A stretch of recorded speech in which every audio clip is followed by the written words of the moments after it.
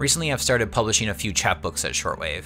These are stories 12 to 24 pages long, with full color cardstock covers and black and white interiors.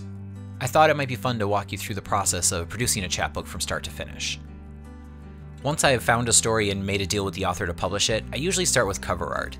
I'm a very visual person, and my focus in college was graphic design, so giving each project a cover really early uh, helps me give each product uh, identity. I use Photoshop or Affinity Photo for my design work, and present these covers to the authors for feedback or approval, and I work with them to make sure that they really represent the story while also being aesthetically pleasing.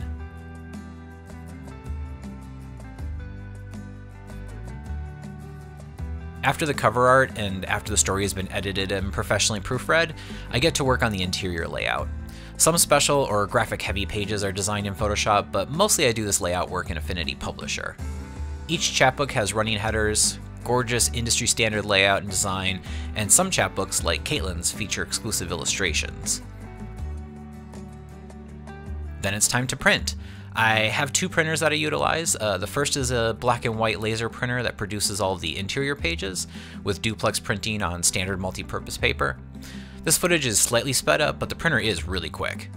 The second printer is a large format full color inkjet printer that produces the cover. Our chapbook covers are printed on heavy 110 pound cardstock.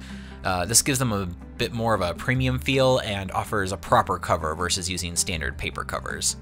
The cardstock also offers better color saturation than standard paper does. Um, this process is quite a bit slower than the interior laser printing. Once everything's printed, it's time to assemble. First, I collate all the interior pages and set them up for easy sorting. For Mama Bird, Clay signed and numbered 100 signature pages, uh, so those had to be collated separately as I shipped him a box of only the title pages to sign. For Caitlin's chapbook, we opted instead to include signed art prints that she had produced locally. Next, I score each one of the cardstock covers individually. Uh, this step isn't necessary, but it does provide a more consistent product. The scoring machine will give a, a nice clean straight line to bind and fold along later on. Unfortunately, these have to be done one at a time. After that, there's more collating, putting covers on each set of the interior pages. Then it's time to bind. These long arm staplers are amazing. In the industry, chapbooks that are stapled are usually referred to as saddle stitched, um, as unbound chapbooks would be laid on a saddle and stapled that way before long arm staplers became the norm. And because we did the scoring earlier, our stitched chapbooks now fold easily and cleanly. No paper buckling or uneven creases. The time we invested in scoring is more than made up for in this step, and the cost of replacing those full color covers if we were to make a mistake folding now. Printer ink is the most expensive liquid on Earth. I'd hate to waste even one of these.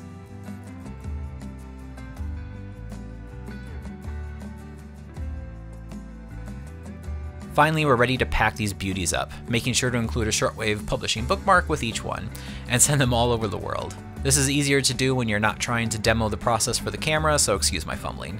I use these sturdy stay flats to protect each copy as it travels to your mailbox. And that's the process, uh, from a short story Word doc to a limited edition chapbook in your home library. If you're interested in our current chapbook titles, including the two I showed in this video, head over to shortwavepublishing.com where you can view our entire catalog with links that will take you directly to our shop. Thanks for watching and happy reading.